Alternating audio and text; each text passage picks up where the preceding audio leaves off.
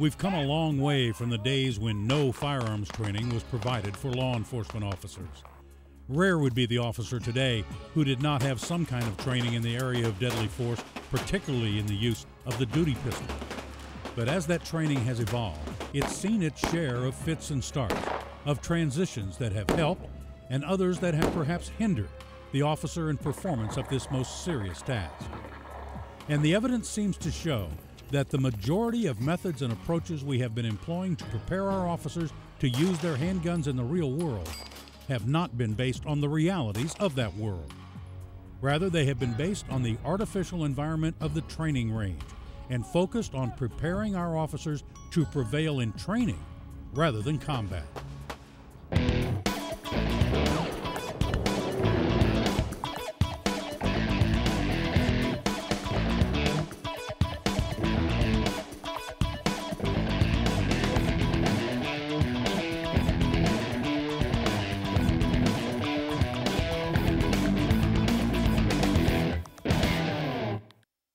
Welcome to part three of our Police Pistolcraft series, New Paradigm Tactics and Techniques. The source for this series is the textbook Police Pistolcraft The Reality Based New Paradigm of Police Firearms Training. The author of the book is Mike Conti, former director of the Massachusetts State Police Firearms Training Unit and founder and director of the Saber Group, which offers law enforcement training and consulting services. Conti has served as our subject matter expert throughout this series. After watching this video, you will be able to describe the purpose and methodology of the Integrated Duty Pistol Training Course concept, describe the purpose and conduct of DPTC Level 1 Skill Builder training courses and DPTC Level 2 Marksmanship and Safe Handling Skills Assessment tests. Describe the purpose and conduct of DPTC Level 3 combination drills and DPTC Level 4 Scenario Based Dynamic Interactive Experiential Learning Diminished Light Training, or the House of Horrors. Nice and slow. Remember what you're preparing for, remember what you're training for. If we figure out people are going to more than likely be involved in a close quarter spontaneous event, then we need to put most of our training emphasis on the skills that allow them to hit a target at close quarters while they're undergoing that stress response. Police firearms training was initially copied from the military model, and even as it evolved, it was based primarily upon the influence of outside sources. Why reinvent the wheel? Why do a whole bunch of work? Because a gun is a gun, and you're shooting a gun, and the guns always go bang the same way. So what's the, what's the big deal? But there was a big deal again. The military mission is different from the civilian police mission.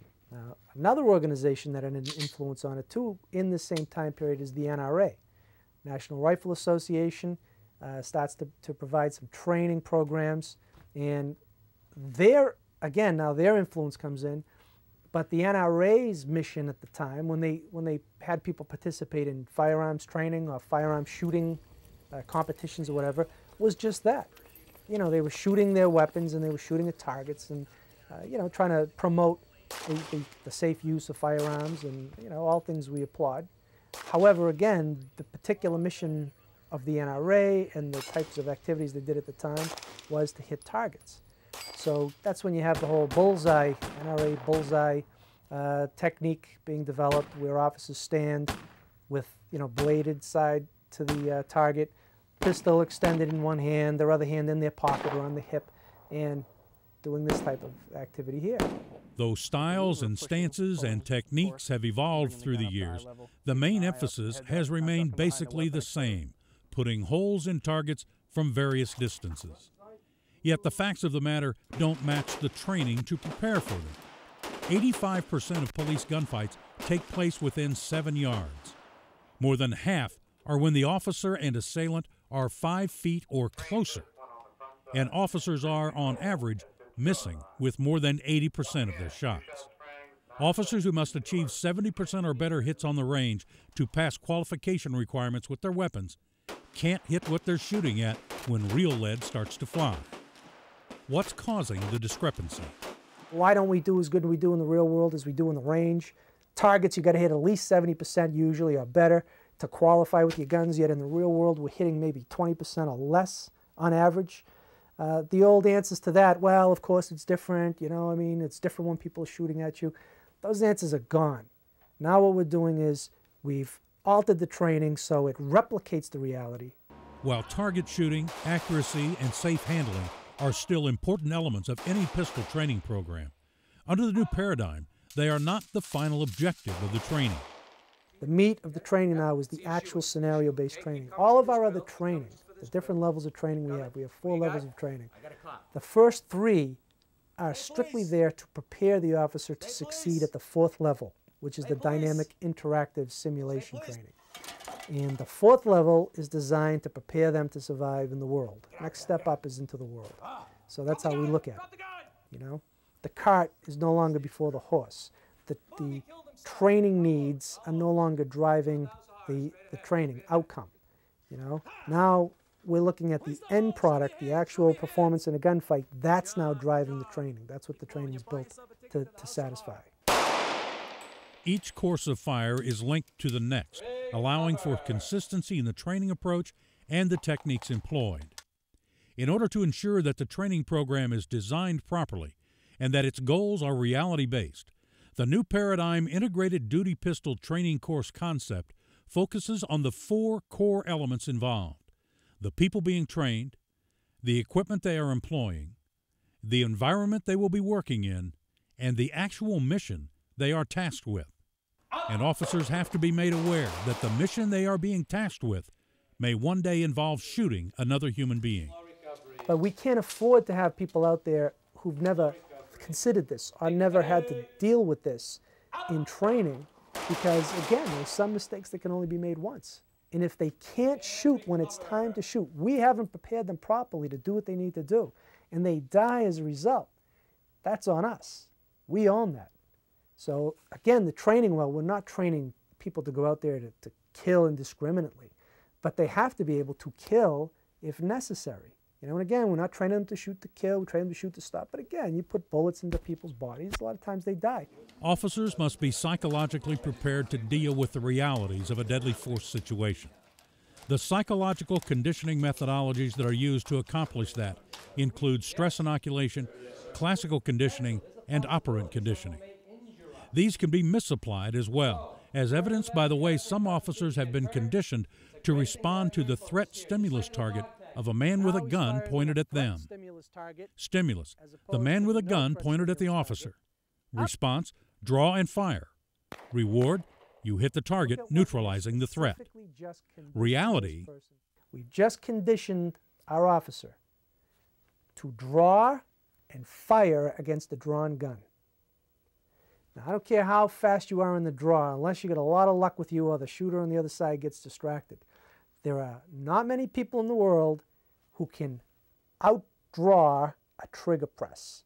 Someone has the finger on the trigger, even on the frame, one tenth or three tenths of a second to make it go bang. On a fast, good day, maybe a, if you if you're lightning fast, maybe a second. Say you can even get up to a second, bang. You're still way behind the power curve. Officers have been killed in the line of duty trying to outdraw a trigger squeeze. Under the new paradigm, reality based training, stimulus, man with a gun. Response, move to cover while drawing the weapon and engage from behind cover. Reward, safely neutralizing the threat while reducing the danger to yourself. The whole reality based training paradigm is movement, cover, you know, uh, assessing all the time, and breaking that whole range environment, the sterile range environment box.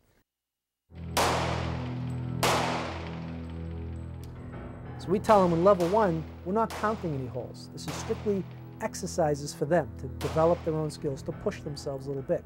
The Level 1 duty pistol training course involves the skill building and reinforcement stage. Officers are told that the holes in their targets will not be counted. This allows them to relax and focus more on the purpose of the drills and the overall training goals. We introduced our officers to various techniques that can be used to deliver rounds to a target because we're not mentally conditioning at this point. We're simply training them on physical motor skills, developing their skill levels. We're also not testing them at this level. This is another key part. It's probably one of the more important parts.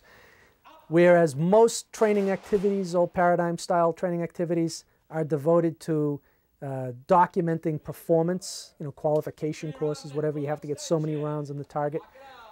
In that case, people tend to do what's going to get them the holes in the target, and they're going to use old paradigm stylizations and use the sights even when they're not supposed to because they want to hit the target. So we tell them in level one, we're not counting any holes. This is strictly exercises for them to develop their own skills, to push themselves a little bit. We teach them different techniques so that they can use the sights to deliver accurate, aimed, sighted fire rounds if they have time, distance, cover, or the situation permits. We teach them point shooting. You know, and again, taking the onus off of the number of holes in the target, we let them learn and they have to adjust as they go. So if they're missing a little bit at first until they calibrate, that's fine. And we thought it's normal. And then once they zero in, now they start to stretch a little bit, get better and better, and their confidence builds there too. Is it first level? We've also covered stoppage clearing, all the basic things that they need to keep the gun running and going. Okay. Level two is just simply uh, marksmanship and safe handling skills. Uh, we make sure that they can access and employ their weapons from a variety of uh, positions, positional shooting, they're standing, they're kneeling, they're prone. There's no stress involved in this. Very, very low uprange, no, no uprange stress actually. We're there to help them and guide them through it. No downrange stress. They're still shooting at targets, still developing physical skills and to a small degree mental skills. Okay, just again for control of the weapon, ingraining these different um, actions so they can run the gun safely. So, but the second level we also are testing them, but what we're testing them on is simply their marksmanship ability, and by marksmanship I mean the ability to deliver rounds to a target area, preferred target area, using both sighted and non-sighted fire, both aimed fire, but some with the sights, some just point shooting. The emphasis is on the point shooting skills, because that's again what we believe they're going to more than likely need. What we're looking at is simply, can they handle the gun safely under controlled conditions? Can they deliver rounds accurately to a preferred target area using the different techniques? And that's about it. That's basically what we're doing. We introduce them to positional shooting. They're standing, they're kneeling, they're prone. And again, under controlled conditions so they can learn how to do this. It's usually where other programs will start to wind up. People hit this, maybe they'll hit a little bit of level three. But level two is generally a qualification course. That's how we look at it. But again, we're using it as a piece of the puzzle. It's a step in the ladder. It's not the end of the ladder, or it's not the ladder itself. This particular activity, this level of training, putting the holes in the target. A lot of times for the old paradigm, that was the end of the road. They would do different things, but the whole point of the training was to pass this test. Get enough holes in the paper so you get the check mark so you can go out into the world and go back to work, okay? With us, it's not. With us, it's simply another aspect, another level. The new paradigm is the entire program to prepare them to operate in the world under real conditions. now, Baker. Nice and easy. Nice and easy. It's not just about hitting the target, it's about not hitting the non-targets, the non-threats, not hitting the friendlies. Uh, it starts to open people's eyes up a little bit, takes them to that next level. Good Good, good, good. Magazine out. Good job there, Baker. Good job. You verbalize on your way down. As far as going from the old paradigm to the new paradigm, um, the biggest thing is on emphasis and approach. Our emphasis now is on preparing our people for the realities of the world, not preparing them to succeed at an unrealistic marksmanship-based training activity. So the whole new paradigm approach is basically tipped upside down from the old paradigm approach. Even though there are a lot of similarities, because there's only so many ways to carry, draw, and fire a gun. There's only so many ways to do that. But it's in the psychological approach and it's on where you place the emphasis on the training. So old paradigm again, looking for holes in paper targets. New paradigm is looking for a competent, confident, prepared police officer ready to deal with real world situations. So, whereas the old paradigm usually peaked at the qualification course, or maybe add a little twist to it with like running and gunning, using cover and doing different competition type skills. That's still just another component for us. It's another piece of the puzzle. Developing these same skills that our people need, but for a totally different reason. And you're right in the ballpark. You're right in the ballpark. I saw you tracking like we talked about. Were you on your sights? Were you on your front sight? You don't even remember seeing your sights, do you? Okay, do you remember tracking? Now we introduce a little bit of stress. We have them dealing with something downrange in front of them, or we have them dealing with simulated human beings, but again, no actual threat or simulated threat coming to them, just things where they have to make decisions. Do I shoot this, engaging a moving target? Very, very realistic scenarios, not some long drawn out thing. They're fast, furious, they have to run, move, gun, take cover, make quick decisions, opens their eyes up a little bit. The level three are usually very, very tight, um, high yield training courses, but they don't take all day. Boom, boom, boom, and one person at a time goes through them. So whether we have them doing the serpentine drill where they're moving through simulated bodies, mannequins who are innocents, and having to handle their guns correctly and then engage a target while they're moving just to kind of break that. Go! Nice and easy now, hand on your weapon. We have them doing uh, the original level three program where they get out of a cruiser and run down range, take cover behind a vehicle, and then engage a target as it moves through friendlies to open their eyes up a little bit more. It's not just about hitting the target, it's about not hitting the non-targets, the non-threats, not hitting the friendlies. Uh, it starts to open people's eyes up a little bit, takes them to that next level. Now, usually, that's where a lot of police training stopped, if it got to that level. It's, it stopped there. Some kind of combat course, people would call it, even though there's no combat in it. That's why we don't call it a combat course. Um, so that would cover, cover the third. Third is kind of like the linchpin to the fourth level. Because now we've taken these basic skills, we've introduced movement, we've introduced some judgment into it. You were patient. Did you feel comfortable dumping around into him over here? Ma'am, no, ma'am. With our friendlies? Ma'am, no, ma'am. Absolutely not. You didn't feel comfortable, so you don't do it. Is that a good hit, Basteri? Ma'am, yes, ma'am. Any hit's a good hit. That's an outstanding hit. Might that have stopped him? Ma'am, yes, ma'am. Absolutely, absolutely. Telling you that friendlies get hit? Ma'am, yes, ma'am. Look at his eyeballs. Boom, boom. This is a new T-shirt for him, Basteri. But look at this. Do our friendlies get hit? Absolutely.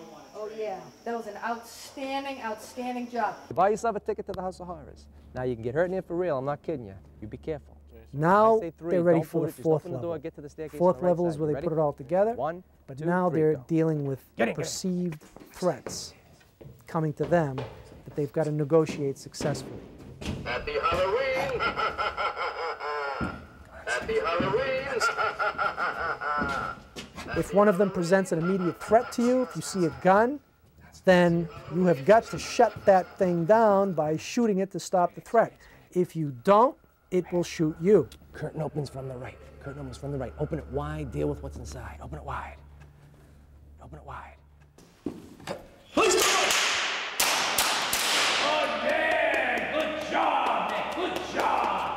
All the physical skills training and psychological conditioning methodologies are blended in level 4, the House of Horrors. In the House of Horrors, stress inoculation is employed by exposing the officers in a controlled manner to the specific types of stressors they can reasonably anticipate encountering in the real world. A lot of times, you can only make the mistake once. Okay, there's some mistakes that can't be made twice. So what we try to do is we try to prepare our people for these types of events through stress inoculation training. So what we do is we put them in the house of horror. We expose them to a number of simulated events that mirror those that they're most likely to encounter. Person with a gun, person with a knife coming at them, uh, you know, an officer turning on them with a badge or whatever, because we don't, we're not just training them to shoot all the time, it's when not to shoot as well. And we expose the subconscious to this as well as the conscious mind. And we let the subconscious mind experience successes going through this training. We teach it what to do and what not to do in order to survive, get the body to survive, but also to do the job appropriately. Ah, good job, good job. Perfect. Decock, decock, decock. How do you feel? Physically. Sir, Physically. sir, breathing heavy, sir. Okay. Now let me ask you a question. You and I went through this thing at the same time, same speed, right? Yes, sir. How come you're breathing like that and I'm not? I was dealing with the stress, stressor in front of me. That's right. You're dealing with the unknown. I know what's down here. When we put our people through House of Horror training, we're able to initiate what psychologists call a true high arousal state. That means that the systems in our body, the survival based system, subconscious mind, is activated in the human being going through these programs, if you can build the program so there's enough fidelity, enough realism, the people going through it, even though they know it's not real, even though they know that they're dummies like we use in the House of Horror, if the subconscious mind buys into it, because you've prepped them right and you're taking them through it, all of a sudden, as far as the subconscious mind is concerned, these things are all real.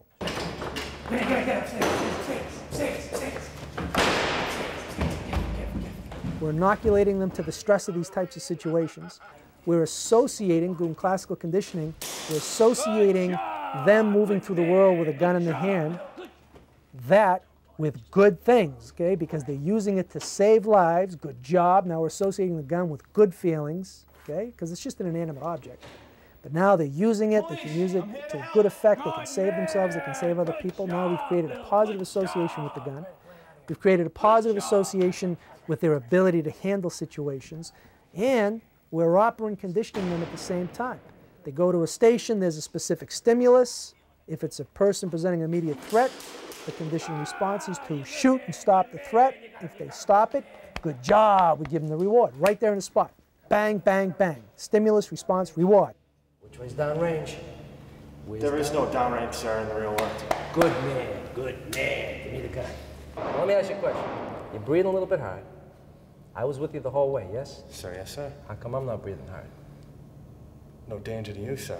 Bingo. I know it's down here. You're dealing with the unknown, just like in the real world, okay? Really started first. If they go into a situation where they shouldn't shoot, He light, he lit up. he- someone turns on them even though they're startled, and they don't shoot, okay, again, stimulus, no threat, conditioned response, don't shoot, reward, good job! Did you shoot him? No, sir. No, you didn't. About 30% of the people come through here from novice recruit to 30 year veteran. 30% on average shoot him up. He's got no gun, but he's got a badge, and they shoot him. You did good. You did real good here. Real good. Come on. See what else you did. See what else you did. Immediately after completing the course, the officers are debriefed on what they have just been through. What you're experiencing right now, Bill, is, is a memory, a false training memory. Okay? You actually had one hand on the gun. We talked earlier about making people do jumping jacks and running to get their breathing up and heart rate up. That's a different type of stress. That's physical induced stress.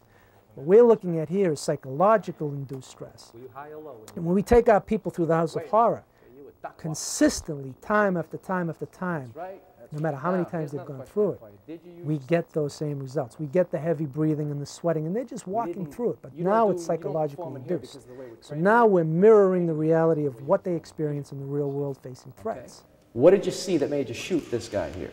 The firearm, Sure. What did you see that made you shoot the guy with a knife? The, knife, the weapon, What did you see that made you not shoot the cop who turned on you? the badge. The badge. I saw, I saw, I saw.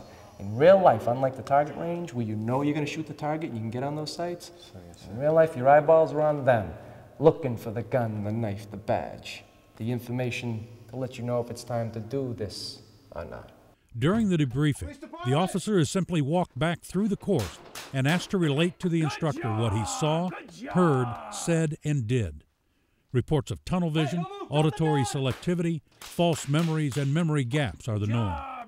By experiencing these effects and being given the opportunity to understand them better through these experiences, officers gain true knowledge of the effects through their own bodies, their own eyes. Good work, good job. Okay. What kind of gun did he have? It was a handgun. I think it was a silver handgun. Silver handgun? Yeah. Okay. uh, Semi-auto semi-auto, revolver? Yeah, I think Semi-auto? semi-automatic. if I can Okay. Could you identify it again if you saw it? Uh, I think so. Okay. Yeah, I think that was a semi-automatic handgun. Okay. Silver semi-automatic handgun. Yeah. Here's your guy. It's not a silver semi-automatic. It's a it's a dark revolver. All right, but you can see how confused, how easy it is to get confused. So Yeah. if he ran away and threw the gun down or whatever, or we stop him and now he doesn't have the silver semi-automatic, you know what I'm saying? Yeah. But this is so common. It's just it's just confusion and the brain's filling in some uh, gaps here. This is the heart of the whole program right here. Is the House of Horrors component, and this is where the true training and the true learning occurs. If you don't have the fourth level, and if it's not constructed properly, and if there are no true threats perceived by the person going through it, it's an old paradigm program. And again, little tunnel vision. Get some tunnel vision going here. Normal, very normal. Now, how many hands did you have wrapped around your pistol when you shot this guy? One or two? I think I hit two. Sure you do. Sure you do. Would you write that in your report? They asked you how many hands did you have wrapped around your gun? I, pro- yeah, would have to. Sure, sure. But in reality, you didn't have two hands, you had one hand on the gun. Okay. Do you believe me? you were behind me, yes. I wouldn't believe anybody, okay? I can show you. You ready? Yeah. Use your finger gun and show me how you shot. Here. What did you do? I just pulled in. Right yeah, that. and how many hands do you have on your gun? Sir, one, sir. That's right. There's a huge difference between understanding something or, or knowing something and understanding it through doing it, through, through experience or performance. okay? You may look at a downhill skier making the big jump. I like to watch those off the big lift. And you go, wow, that must feel like something, and boy, that would be interesting. And you might have the idea of how to do it, but until you do it, you don't really get it. You don't really experience it, and you don't understand all little subtleties in it and, and the not so subtleties in it, you know? The exhilaration, the feeling, you don't get that thinking about it. So just teaching someone how to do something, even teaching someone how to shoot a gun, is one level of training. Teaching them how to make the gun go bang, teaching them how to hit a target is another level. But you can talk all day about you may have to use this weapon to shoot another person, but until they experience it or experience something close to it, a high, high fidelity simulation, they're not going to really understand it. It might be easy to hit a target, shoot a target, but then when you have a human being in front of you, you might feel a tremendous resistance. What are you going to do? He's going to Gun down! Good job, good job, good job, good job, good job. Okay, good, good job, good job. This was my toughest one Why was that? um, because I, I couldn't see exactly what. Um, it, I mean, it looked like a gun to me, but I wanted to make sure before I actually did anything. Sure. I gave him some commands. Yeah. He didn't. He didn't reply to my commands. Mm-hmm. He didn't drop the gun. Uh, so at that point, I had to stop the threat. Did you feel threatened? Um, well, I mean, I, the gun was continuing to point at me, and he wasn't dropping it. So uh, yeah, I felt. Like, Yeah, absolutely. Could he have shot you? yeah, yeah. Absolutely. And that's why I realized at that point when he's not li- listening to me or my commands, I decided to to end the threat. Okay. You did really, really good here, and I'll tell you this: you were also lucky, like happens in life sometime, because he has a gun and he shoots, but his gun didn't fire, it Right, misfired. right. So okay, but you did great. Yeah, And, and that's what I realized as after I shot. It's like I probably should have shot just a little bit earlier. You think so? The end result we found of this is that when people leave, a lot of times I've had people call me up on the way home from training, call me up on the way home from training to tell me, uh, that, was, that was really good. That was really, really good. I, I don't know why, I can't explain it, but I feel really good. And all of a sudden, you've taken someone who may have been a little jittery and nervous or unsure, and you've given them confidence, given them experiences, and now they feel more capable and they're more confident. And that is the end objective we're looking for capable, confident, safe, or more effective police officer.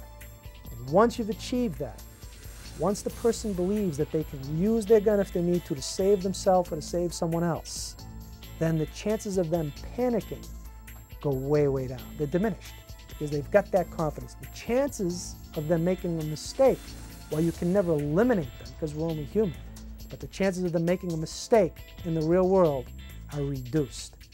And there's nothing better than that because, again, the ultimate objective is saving lives, saving lives on both sides of the bed. The basic text for this series is the book Police Pistolcraft The Reality Based New Paradigm of Police Firearms Training, available from Saber Press.